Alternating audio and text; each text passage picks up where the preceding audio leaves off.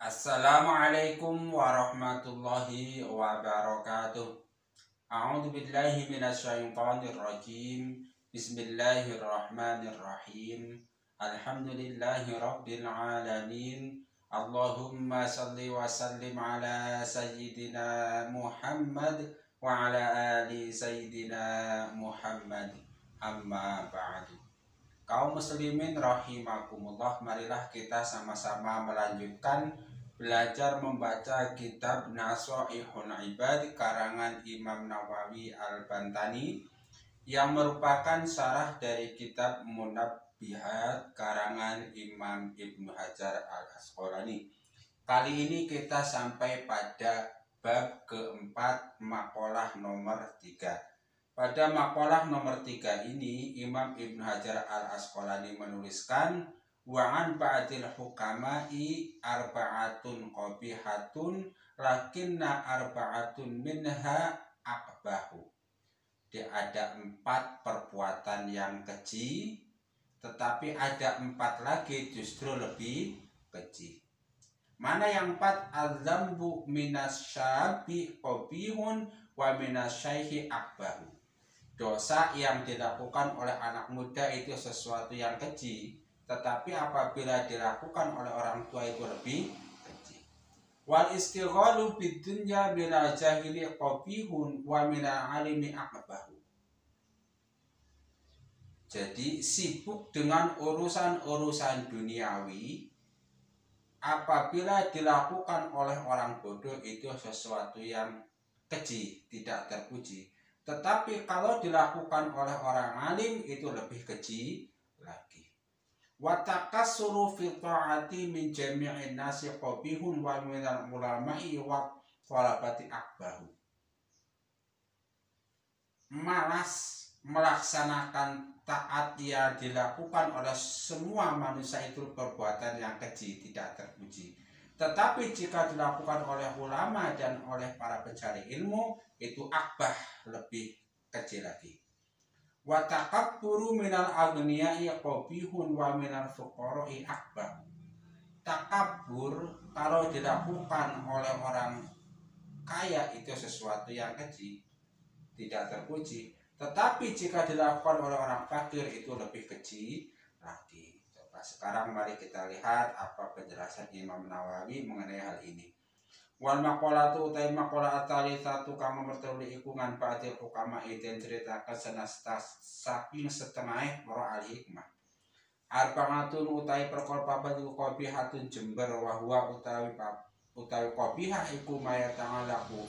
Ma perkara si maya laku kang berhubungan apa bihi kelawan ma apa aldamu nyacat fil ajili ing dalam dunia wal iqabil asifil ajili. Jadi ada empat perkara keji. Perkara tidak baik. Apa yang disebut kopiha? Apa itu kopiha? Menurut Imam Nawawi adalah sesuatu yang berhubungan apabila dia dikerjakan maka dia akan dicela di dunia dan akan mendapatkan siksa di akhirat. Dengan kata lain, setiap hal yang berpotensi mendapatkan celaan di dunia dan mendapatkan siksaan di akhirat itu terkadang disebut kopi kopihah. Kalau kopihah ada akbah nanti. Lakinna arba'atan tetapi ne seduene patang perkara saking papat iku akbahu lebih tercela. Nirupan papat jadi ada empat perbuatan yang tercela dan empat perbuatan yang lebih tercela. Al dambu ai ismu sijine dosa. Minasabi saking pemuda iku kopihun kopi jember tercela wa minasyahi saking syekh yaiku akbahu. Lebih jember lebih tidak terpuji. Jadi kalau ada anak muda berbuat dosa itu memang perbuatan yang jelek. Tetapi sungguh jelek lagi lebih jelek itu kalau ada orang-orang yang tua yang syekh itu berbuat dosa. Karena kalau anak muda kan istilahnya mah mencek sunnah mah nama juga anak muda lagi sedang-sedangnya nggak jelas ya melakukan perbuatan maksiat. Tapi kalau orang tua mau ngapain lagi? Orang udah tua belum toh. Tobat orang udah tua masih melaksanakan do dosa seharusnya dia itu udah mulai bertobat dan meninggalkan perbuatan do dosa. Wal istigholu ta wal istigholan ketungkul bidunya kawan dunya ai bi atiha minal jahil saking wong bodoh iku kopihun perbuatan yang tidak terpuji perbuatan jelek kita lalai di dalam nuansa duniawi itu perbuatan yang jelek. Perbuatan kita sehari-hari cuma makan, minum, tidur, memuaskan nafsu. Pokoknya urusan ke sana ke sini dari jam ke jam lain dari pagi sampai siang siang sampai sore terus yang diurus itu hanya urusan duniawi saja bagaimana bisa makan enak bagaimana bisa pakaian bagus terus sehingga melupakan Allah Subhanahu wa taala istighfar. Itu kalau dilakukan oleh orang-orang bodoh ya wajar lah namanya juga orang bodoh nggak tahu baik benar nggak tahu banyak hal. Tetapi kalau yang melakukan itu orang alim atau orang sedang menuntut ilmu itu lebih buruk lagi dilakukan oleh orang bodoh aja buruk apalagi dilakukan oleh orang alim atau orang sedang menuntut ilmu itu justru lebih lebih buruk. Wa alami wa minal alimi rasa orang akbahu lebih buruk. Kamar yang jadi jadi akan anak yang setune kayu Nabi Muhammad Sallallahu Alaihi Wasallam kau dawu sama kayu Nabi Muhammad Sallallahu Alaihi Wasallam Man izdada ilman wa lam yazdad fid dunya zuhdan lam yazdad min Allah taala illa bu'dan manut desa pada waktu izdad dalam mentambah sob apane ilmuna ilmuna man wa lam yazdad tambah fid dunya apane zuhdan zuhdan lam yazdad mongko ora tambah. Minallah saking Gusti Allah taala hale mau sapa Gusti Allah ila dan angin tambah jauh. Jadi kalau seseorang ilmunya makin lama makin banyak tetapi tidak tambah zuhudnya maka dia itu makin jauh dari Allah. Dengan kata lain, ketika seseorang ilmu kemungkinannya dua.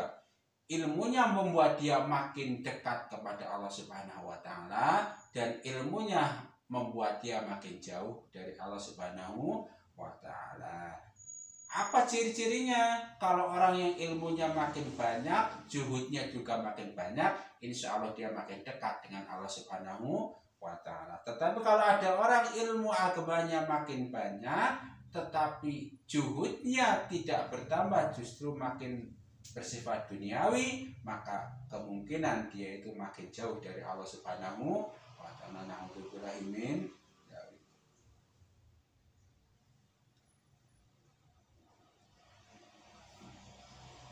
watakasulu utawi alas-alasan min fitongat indam tongat ay muafiqati amrillahi ta'ala tegese metuki atau nyocoki perintah Allah subhanahu wa ta'ala min jami'in nasi sakni sakabana menungsa iku kopihun kopih gak bagus wa minak ulama'i lan saking ulama wa talabati rasiki talabah. Ay aladi yatlubuna ilma iku akbahu. Nah jadi males berbuat kebaikan, males menjalankan perintah Allah itu sesuatu yang buruk. Tetapi kalau dia dilakukan oleh orang-orang yang berilmu, itu lebih buruk lagi. Watakaburu utawi takabur minal agniya isaki wong kang suki ku kopihun buruk wa minal fukara isaki wong kang fakir ku akbahu lebih buruk. Jadi kalau ada orang kaya takabur itu buruk, tetapi lebih buruk lagi ada orang fakir kok takabur? Kalau orang kaya takabur mungkin karena dia kaya punya harta. Lain ada orang miskin orang fakir takabur. Apa yang ditakaburinya? Jadi lebih buruk lah lagi. Mudah-mudahan bermanfaat. Jangan lupa like dan subscribe channel ini Rabbana taqabbal minna innaka antas samiul alim wa tub alaina innaka antat tawwabur rahim. Subhanakallahumma wa bihamdika asyhadu an la ilaha illa anta astaghfiruka wa atubu ilaik. Wa minkum wassalamu alaikum warahmatullahi wabarakatuh